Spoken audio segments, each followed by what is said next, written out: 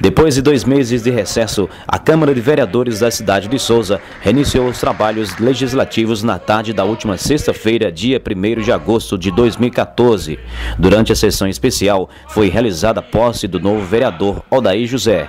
O vereador Cacá Gadelha resolveu deixar o cargo na casa Tacílio Gomes Issá para assumir a chefia de gabinete na Casa Civil do governo da Paraíba. Com isso, o suplente Dedé Veras ficaria com a vaga. Preferiu não assumir, pois já ocupa ocupa a gerência da Cagepa. Com a saída de Cacá Gadelha, quem assumiu o cargo foi o vereador Aldair José. A sessão especial contou com a presença do ex-prefeito Fábio Tairone, do PSDB, da ex-primeira-dama do município, Ângela Cruz, do empresário Toquinho Figueiredo, vereadores e o público presente que lutou plenário da Câmara Municipal. O bom filho, a casa torna, Aldair deixou marcado nesta casa é, um grande mandato, tirou mais de mil votos, não pôde retornar de forma efetiva, mas hoje né, nós conversamos com alguns vereadores, conseguimos fazer uma engenharia que traz de volta Odaí esta casa. Né, por isso estamos vivendo uma noite muito feliz. Né, e eu tenho certeza que Odaí fará, em poucos meses, com muito esforço, com muito trabalho, né, um grande pequeno mandato.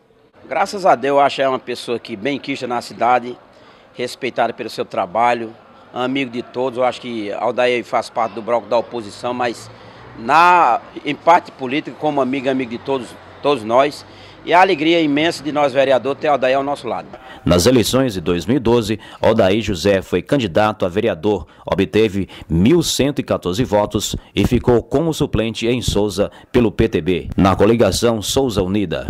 Motivo de muita alegria, confesso a você que estou até um pouco emocionado por poder mais uma vez participar dos trabalhos legislativos desta casa, esta tarde, noite de hoje, juntamente aqui com todos os meus familiares, alguns correligionários, algumas pessoas que me conferiram a sua, o seu gesto de ir até as urnas e confiar em mim um mandato de vereador. Mais uma vez aqui estou e continuarei até o prazo regimental que for determinado, sempre defendendo os interesses dos mais humildes e o desenvolvimento do nosso município. Continuarei fazendo o papel de fiscalizador, dizer que, que todos os souzenses podem confiar aqui no nosso trabalho.